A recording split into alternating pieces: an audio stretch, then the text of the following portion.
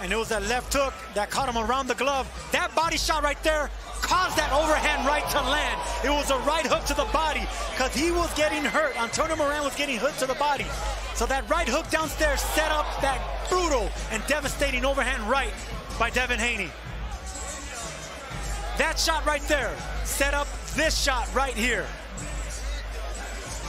Boom! Right on the chin. Out. There was really no need.